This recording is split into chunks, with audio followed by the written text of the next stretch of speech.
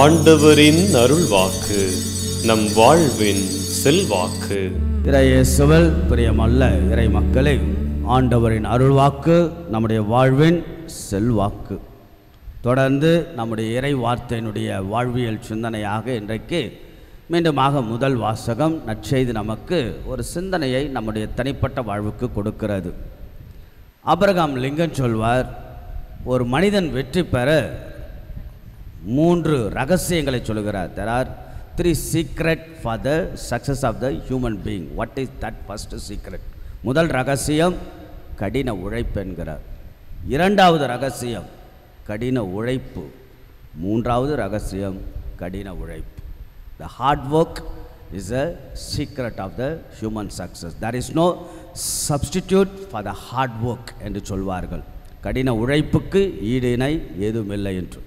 இந்த நாளுடைய முதல் வாசகம் அதை தான் புனித பவுலுடைய ரொம்ப அழகாக சொல்லுகிறார். அதாவது தெஸ்லோனிக்கிய மக்களை பற்றி பாராட்டுகின்ற நேரத்தில் போலி இறைவாக்கினர்களை பற்றி நேற்றைய நாளுடைய நற்செய்தியில் முதல் வாசகத்தில் நாம் வாசித்தோம். போலி இறைவாக்கினர்கள் ஆண்டவுடைய நாள் வருகிறது என்று சொன்னவுடன் ஒரு சில மக்கள் தங்களை சோம்பேறிகளாக உருவாக்கி கொள்கிறார்கள். ஆக உழைக்க மறுக்கிறார்கள். சோம்பேறிகளாக இருக்கின்ற பொழுதுதான் புனித பவுலுடைய சொல்கிறார் உழைக்க மனமில்லாதவன் உண்ணலாகாது என்கிறார். உழைப்பு ஆக நானே உழைத்து தான் எனக்கு தேவையானதை நான் செய்து கொள்கின்றேன். அப்படி என்றால் புனித பவுலுடைய அழகான வார்த்தை உழைப்பு. ஆக உழைப்பு ஒரு அழகான நம்முடைய வாழ்வுடைய வெற்றியின் ரகசியமாக புனித பவுலுடையார் சொல்லி தரக்கூடிய பாடம். சோம்பேறிதனம் சாத்தானின் கூடாரம் என்று சொல்வார் laziness is a devil's workshop என்று சொல்வார்கள். அதே போல் இந்த நாளுடைய நற்செய்தி வெளிவேடத்தனத்தை பற்றி ஆண்டவர் மீண்டுமாக சொல்லிக்கொண்டே இருக்கிறார். பரிசேர்களை பற்றி.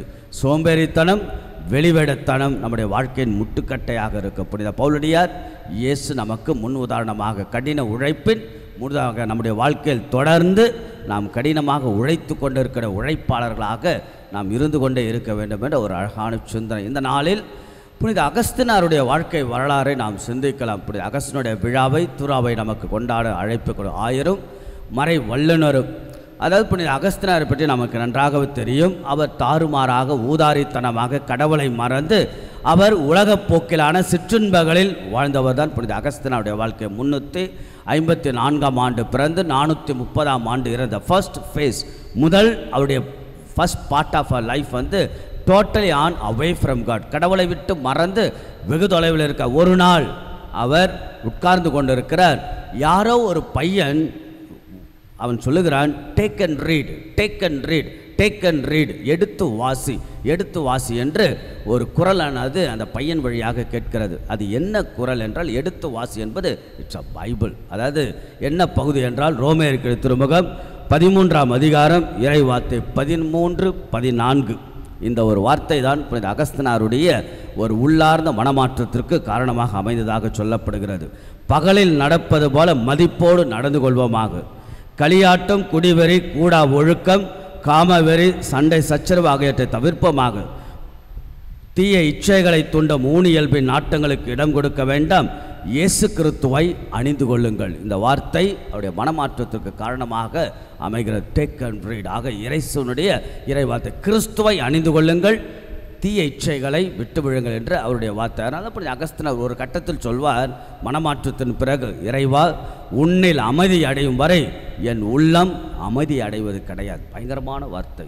அவர் தேடிக்கொண்டே இருக்கிற கடவுளை தேடிக்கொண்டே இருக்கிற தன் வாழ்க்கையிலுடைய மனமாற்றத்துக்கு பிறகு தாயினுடைய கண்ணீரால் மனமாறிய பிறகு மிகப்பெரிய மறை வல்லுனராக அவரை பற்றி நிறைய நான் படித்திருக்கேன். The proof for existence of God கடவுளுடைய அந்த இருப்புக்கு மிகப்பெரிய விளக்கம் கொடுத்தவர். அவருடைய படைப்புகள் எல்லாம் மிக பாராட்டுதற்குரியவர் த கன்ஃபஷன்ஸ் அவருடைய புத்தகம். த சிட்டி ஆஃப் காட் அவருடைய புத்தகம்.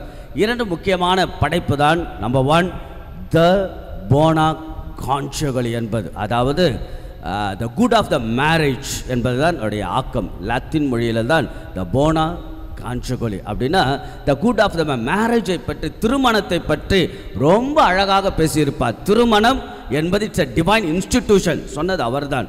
திருமணம் இட்ஸ் அ சாக்ரமெண்ட்டுங்க மூன்று பில்லர் திருமண வாழ்க்கையில் மூன்று தூண்கள் என்கிறார். ஒன்று புரொலோஸ் ஃபீதஸ் சக்கரமந்தம் புரொலோஸ் என்றால் ஆஃப் ஸ்ப்ரிங் ஆஃப் ஸ்ப்ரிங் என்றால் குழந்தை வளர்ப்பு இனப்பெருக்கம். தட்ஸ் மோர் இம்பார்ட்டன்ட் இந்த மேரிட்டல் லைஃப் புனித அகஸ்தனுடைய மிகப்பெரிய இதுதான் புனித அகஸ்தனுடைய சிந்தனைகள். திரு அவையினுடைய அந்த மறைக்கல்வியாக மாறுகிறது. த செகண்ட் ஃபீதஸ் ஃபீதஸ் என்றால் த ஃபெய்த் திருமண வாழ்க்கையின் விசுவாசம் மிகப்பெரிய அடிநாதம் என்கிறார். தேர்ட் த சக்கரமந்தம் சக்கரமந்தம் என்றால் சக்கரமன் மேரேஜ் இஸ் அ சக்கரமன் திருமணம் என்பது திருவருட்சாதனம் அவர் சொல்லிக் கொடுத்த பாடம் தான். ஆக திருமணத்தினுடைய மேன்மைகளை தொன்மைகளை ரொம்ப அழகாக எடுத்து சொன்னவர் தான் புனித அகஸ்தினார் த செகண்ட் என்ன தெரியுங்களா?